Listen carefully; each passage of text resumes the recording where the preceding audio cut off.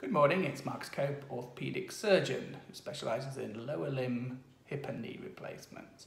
So today I read an interesting article in uh, one of our journals uh, that I receive regularly um, and it, it uh, was discussing uh, about kneeling after knee replacement. Now, one of the things they mentioned that um, a lot of studies have been done just describing kneeling, but they don't actually specify what kneeling entails for the patient. Obviously, it can be quite different from a deep flex position um, uh, for praying through to just kneeling on a single knee with the other leg flexed. So there was some discussion about the fact that um, you're not necessarily always comparing like for like. One of the interesting things, though, that they said it, there was no predictive value, so there was nothing that they could identify that demonstrated whether people would go on to kneel comfortably afterwards. And about 50% of patients went on to kneel, and 50% failed to kneel afterwards.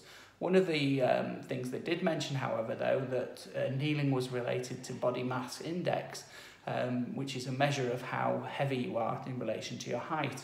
Obviously, the higher your body mass index, uh, the greater covering of flesh you have around the knee, so the more difficult it is to bend the leg significantly enough to be able to kneel. And they found that people with a lower body mass index were more likely to be able to kneel afterwards, which you kind of think makes common sense. Uh, in my own practice, I found that um, people um, usually go on to kneel if they're encouraged to do so um, and advised that it won't damage the knee replacement.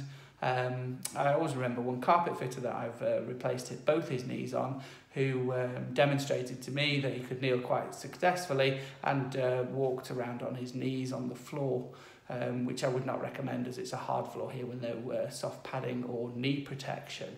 Usually if you wish to try and kneel, I'd say build up gradually. Uh, wear pads initially um, or a soft cushion and don't try and kneel on hard surfaces. Um, the main thing people find initially is that the scar is the uh, thing that causes discomfort when people are trying to kneel. Uh, and this requires perseverance to get over this. Most of uh, my patients that are gardeners go back to kneeling uh, successfully, as they often tell me this afterwards when I follow them up.